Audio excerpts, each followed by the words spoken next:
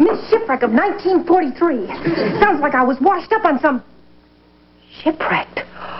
Wait a minute. What if I were really shipwrecked? But all they asked for were some pictures.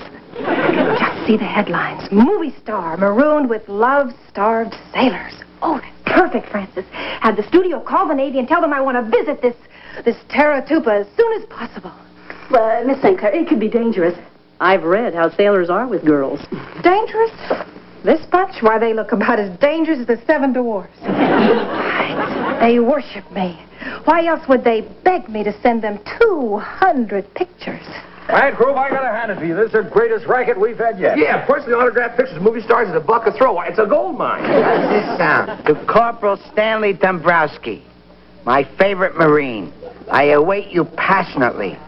Love, Mimi. It's come out of class. I can believe that, aren't you? Beautiful, beautiful. Now let's finish her up. Fuji, front and center.